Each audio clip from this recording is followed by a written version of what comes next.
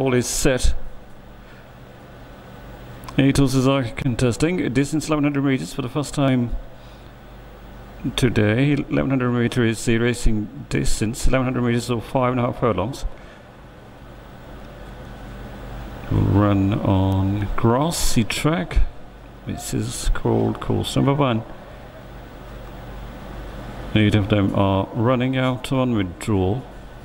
So we go with this uh, setup and they are racing Foxtrot and Muqadas. Muqadas now slides in front. Muqadas leading. Foxtrot at the second position. Wild Coast third. Cousin Carey fourth. And then is my favorite and also is Queen's Gambit.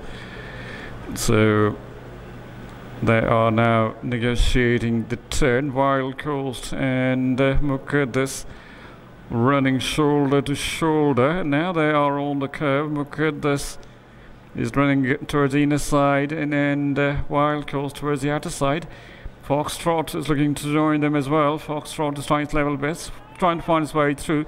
Muqadas and Wild Coast. Then is Foxtrot.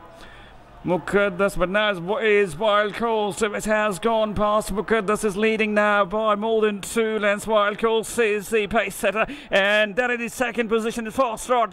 Wild Coast and Foxtrot. These are two top finishers.